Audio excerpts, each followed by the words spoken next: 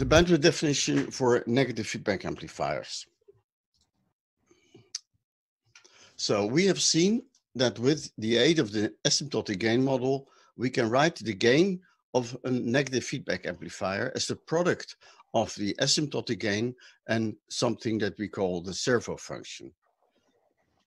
So the source to load transfer can be written as a product of the asymptotic gain and the servo function, which is in fact completely determined by the loop gain. And if the if the reference variable for the loop gain is correctly selected, then the asymptotic gain equals the ideal gain, which was the gain designed when the amplifier, when the controller of the amplifier was a nullor.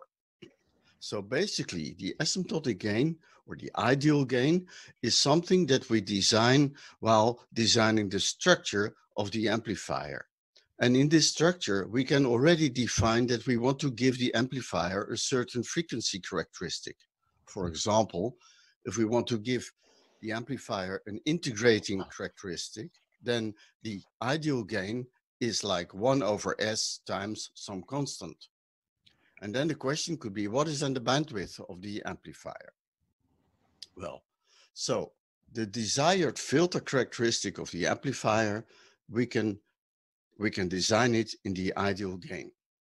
And the bandwidth definition must be decoupled from this one because this is basically what we want. So if we want to make an integrator, then in the ideal situation, the bandwidth of the integrator will be infinite, which means it integrates signal from zero frequency up to infinity.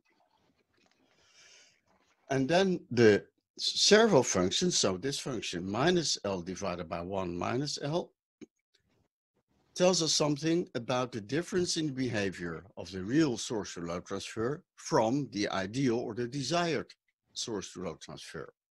So you can say this should be unity. Then it was a, then we have no difference at all. We have a we have a perfectly we follow the the ideal characteristic, but um, the deviation from unity from this one tells us something also about the bandwidth.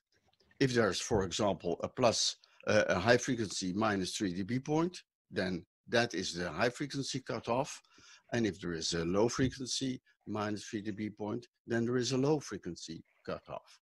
So we will define the bandwidth as a difference between the low pass 3 dB and the high pass 3 dB frequencies of the servo function. And in this way, and that is very important, the bandwidth is decoupled from the desired frequency characteristics that has been designed in the ideal gain.